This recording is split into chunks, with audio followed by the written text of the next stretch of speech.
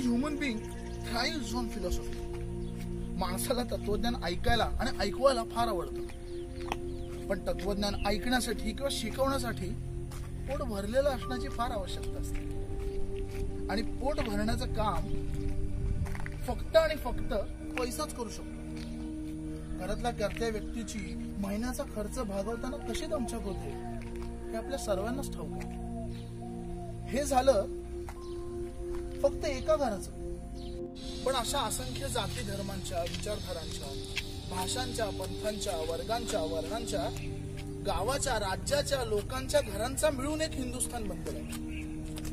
या समस्त हिंदुस्थानच्या आर्थिक आघाडीचा कार्यभार सांभाळणं हे मुळातच पिछाडीचं काम महागाई मंदी या देशाच्या अर्थव्यवस्थेला कशा देशोधडीला राहू शकतात हे आपण पाहिलंय वाचलंय अनुभवलं पण एक व्यक्ती होती जिने हे मुळातच अवघड असलेलं कार्य अनेकच जिकिरीच्या परिस्थितीमध्ये पार पडले. स्वातंत्र्यपूर्व काळ ते एकोणीसशे पंचेचाळीस नंतर हिंदुस्थानातील जनमानसाला स्वातंत्र्याच्या पहाट पर्वाचं पडत चाललेलं स्वप्न स्वातंत्र्य प्राप्ती आणि त्यानंतरची बिकट परिस्थिती बिकट कालावधी या सर्व प्रसंगांना धीरानं तोंड देत भारताच्या आर्थिक परिस्थिती सांभाळली. ती व्यक्ती म्हणजे रोह्याचे चिंतामणराव द्वारकानाथ देशमुख. म्हणजेच डॉक्टर सी डी देशमुख.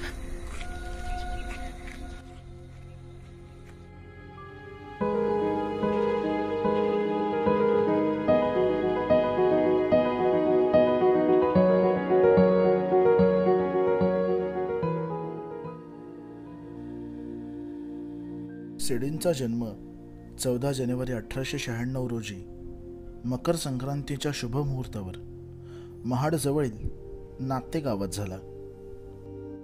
वडील वकील असल्यामुळे आणि त्यांच्या फिरतीमुळे महाड रोहा तळा अशा अनेक गावात त्यांचं बालपण गेलं.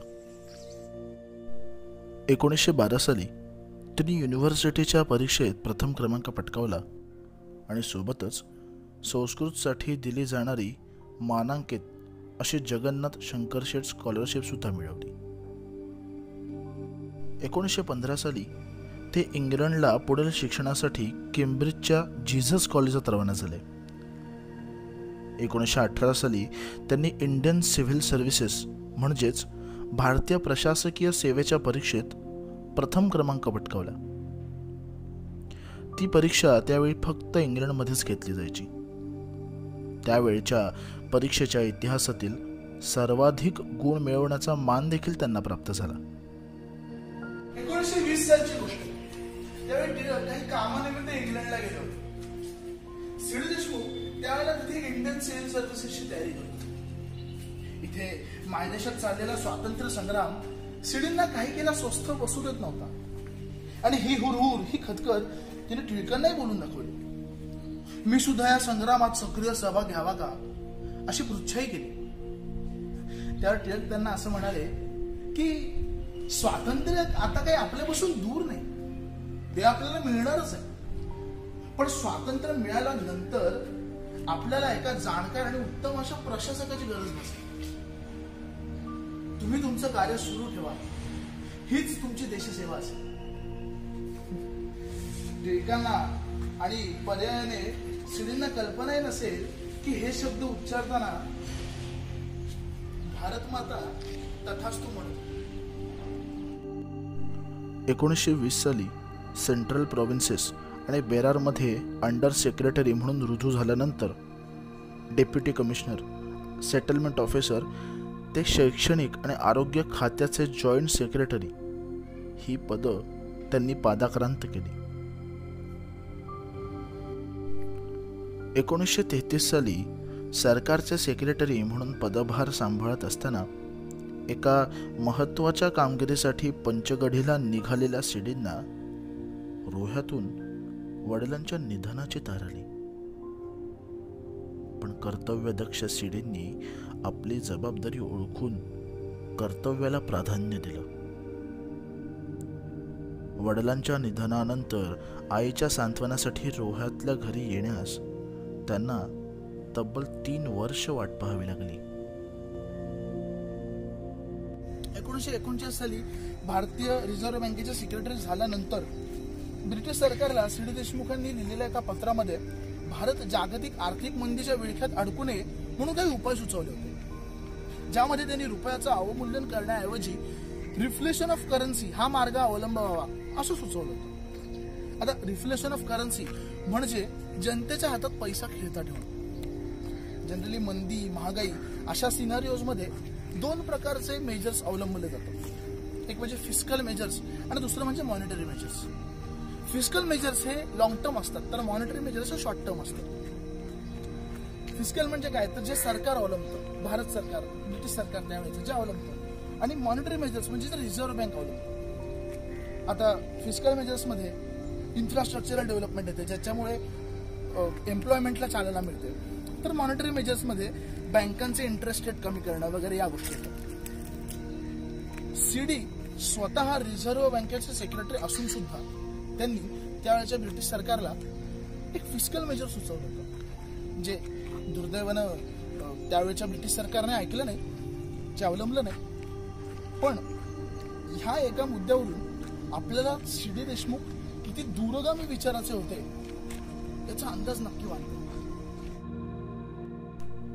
प्रचंड बुद्धिमत्ता अथक परिश्रम आणि आपल्या कर्तव्याप्रती असलेल्या कमालीच्या समर्पण भावनेच्या बळावर एकोणीसशे त्रेचाळीस साली रोह्यासारख्या छोट्याशा गावातून वर आलेले चिंतामण द्वारकानाथ देशमुख हे भारतीय रिझर्व्ह बँकेचे पहिले भारतीय आणि एकूणात तिसरे गव्हर्नर बनले. एकोणीसशे चव्वेचाळीस साली ब्रिटिश सरकारच्या वतीने नाईटहूड अर्थात मानाचा सर हा खिताबसुद्धा त्यांना बहाल करण्यात आला. भविष्याचा कानुसा घेत यांत्रिकीकरणाची आणि पर्यायाने यंत्रयुगाची अवघ्या जगाला पडत चाललेली भुरळ लक्षात घेऊन त्यांनी इंडस्ट्रियल फायनान्स कॉर्पोरेशनची स्थापना केली. एकोणीसशे चव्वेचाळीस साली झालेल्या ब्रिटन वुड्स कॉन्फरन्समध्ये त्यांनी भारताचे प्रतिनिधित्व केले. याच कॉन्फरन्समध्ये इंटरनॅशनल मॉनिटरी फंड म्हणजेच आय एम एफ आणि international bank for reconstruction and development म्हणजेच आय बी आर डी यांची स्थापना करण्यात आली. या दोन्ही संस्थांचे ते पुढील दहा वर्ष सदस्य म्हणून कार्यरत होते. सिडींचा रिझर्व्ह बँकेच्या गव्हर्नर पदाचा कार्यकाळ हा भारतासाठी एक देश म्हणून स्थित्यंतराचा काळ होता. त्यावेळी देशातील सर्वोच्च पाच पदांमध्ये गव्हर्नर या पदाची गणती होत असे. ब्रिटिशांची भारतावरील राजवट जागतिक दुसरं महायुद्ध त्यामुळे उडालेला आर्थिक बोजवारा स्वातंत्र्याची अवघ्या भारतवर्षाला लागलेली चाहूल ते स्वातंत्र्य प्राप्तीचा आनंद. आणि त्यानंतर एखाद्या सुंदर स्वप्नाला लागलेल्या गालबोटासारखी झालेली फाळणी. ह्या सर्व संक्रमणाच्या कालखंडात त्यांनी भारताची आर्थिक घडी कुठेही विस्कटणार नाही याची पुरेपूर काळजी घेतली.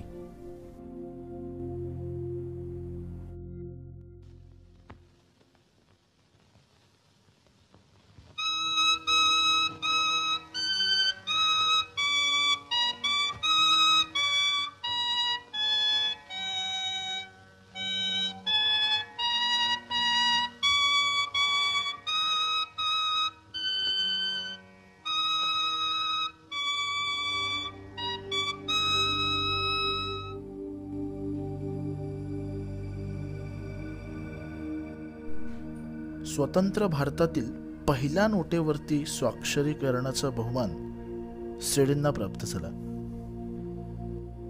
तसेच पाकिस्तानात रिझर्व्ह बँकेची स्थापना होईपर्यंत म्हणजेच स्वातंत्र्यानंतरचे जवळपास सहा महिने पाकिस्तान आणि ब्रह्मदेश या देशांमधील चलनसुद्धा सिडींच्या सहीनेच चालत होते.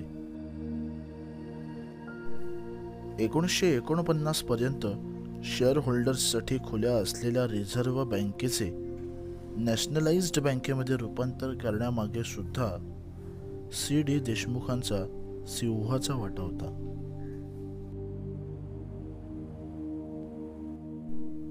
तब्बल सात वर्ष रिझर्व्ह बँकेचे गव्हर्नरपद भूषवल्यानंतर निवृत्त झालेले सीडी एकोणीसशे एकोणपन्नासमध्ये पंतप्रधान पंडित जवाहरलाल नेहरू आणि सरदार वल्लभभाई पटेल यांच्या आग्रहास्तव हिंदुस्थानचे अर्थमंत्री झाले.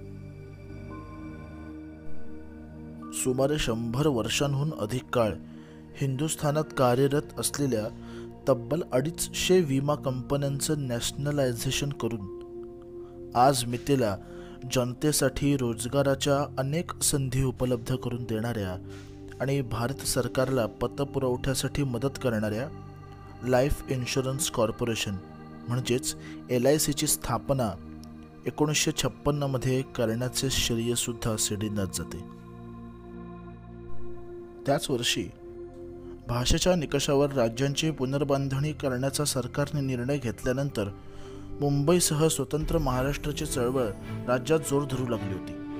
त्यातच एक दिवस पंतप्रधान नेहरूंनी मुंबई केंद्रशासित प्रदेश करण्याचे जाहीर सभेत विधान केले आणि कुलाबा जिल्ह्यातून निवडून आलेल्या सीडींनी तेथील चाकरमान्यांना झेलावा लागू शकणारा संभाव्य त्रास आणि आर्थिक नुकसानीचा धोका लक्षात घेऊन निषेध म्हणून आपल्या केंद्रीय अर्थमंत्री पदाचा राजीनामा दिला. एकोणीसशे सत्तावन्न साली त्यांना कलकत्ता विद्यापीठाकडून विज्ञानासाठी तर एकोणीसशे एकोणसाठमध्ये पंजाब विद्यापीठाकडून साहित्यासाठी मानद डॉक्टरेट प्रदान करण्यात आली. त्याच वर्षी सीडींना सरकारी सेवेतील योगदानासाठी रेमन मॅगसेसे पुरस्कार देखील बहाल करण्यात आला. आयुष्यातील अखेरची वर्ष समाजकारणामध्ये झोकून दिलेल्या सीडींची प्राणज्योत दोन ऑक्टोबर एकोणीसशे ब्याऐंशी रोजी हैदराबाद येथे मालवली. रिझर्व्ह बँकेचे पहिले भारतीय गव्हर्नर भारताचे केंद्रीय अर्थमंत्री मॅगसेसे पुरस्कार ही सर्व कार्य सिडनी पार्क पाडलीच. पण यापेक्षाही फार मोलाचं आणि उदात्त असं कार्य सिडनी पार्क पाडलं. सिडनी कित्येक मध्यमवर्गीय घरांतून गावांतून येणाऱ्या मुलांना एक स्वप्नळ दृष्टी भाल केली. न्यूनगंड बुजरेपणा यावरती विद्येच्या माध्यमातून कशी मात करता येते हे दाखवून सिडींनी सदैव ज्ञानाची शिक्षणाची कास धरण्याची चिकट शिकवली. आपल्या कामाप्रती संयम समर्पण आणि निग्रह बाळगण्याचं बाळकडू बाजू. गीतेमध्ये सुद्धा हेच तर सांगितलंय. कर्मण्ये वाधिकार असते मा फलेशू कदाचिन. कार्य करत राहा फळाची चिंता करू नको. सिडी तुमच्या रोह्यामध्ये माझा जन्म झालाय. ही मी फार अभिमानाची बाब समजत होते. नाही ती तशी आहेच. पण तुम्ही फक्त रोह्याचे नाही तर समस्त हिंदुस्थानचे आहात. ही गोष्ट लक्षात यायला मला थोडा वेळ लागला. आणि म्हणूनच आज फक्त रोह्याच्या वतीने नाही तर समस्त हिंदुस्थानच्या वतीने तुम्हाला साष्टांग दंडवत.